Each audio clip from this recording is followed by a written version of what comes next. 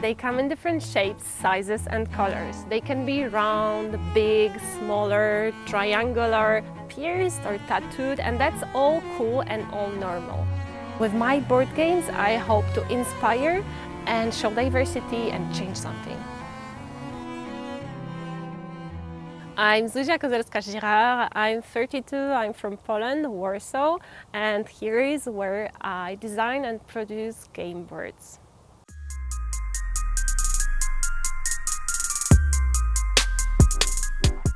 My mission is to change people's views on traditional games and show them a new way to learn about women.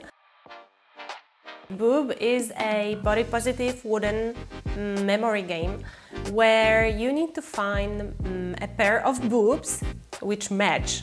The idea was to show that our bodies are normal and that we don't need to make them perfect a perfect match and also show this to our kids. I have to say that Milo is a big fan of boob. Like in general, he's fan of boobs, like as all kids are, you know, passing like from breastfeeding, like something that they're curious about.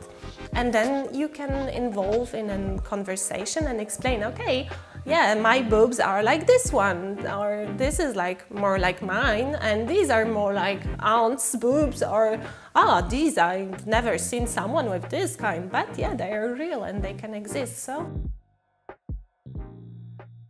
When I talked about boob with people, they get a bit uncomfortable. They're like, but what? Like, is this like a, a memory with, but like with breasts? And is it for kids? And I'm like, yes, of course, but they love it. Why do we push the boob into a taboo subject? There is no sense into it. So, but this is like a true reaction from people that they are a bit uncomfortable. But actually, when we play, it's so much fun.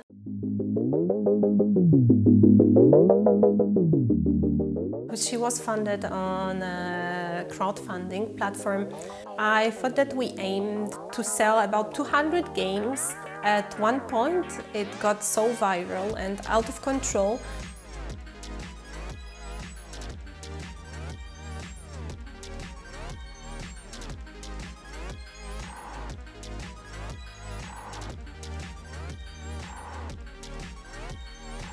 She was actually an answer to my frustration being a parent because when I had my daughter, she would get all those comments about her looks. Like, oh, look how she's pretty, look what a pretty dress. And then I heard those other comments that were gave to boys. And they were mostly about their abilities and what they did, how strong they were, or how fast, or how capable, and really encouraging also. So I felt like there's something wrong here. And I thought, okay, there need to be a way also to show parents and to encourage them to show girls, women with real history behind them who did like amazing thing in the world and that they can inspire girls to do this kind of thing. So that the looks is really not your basic goal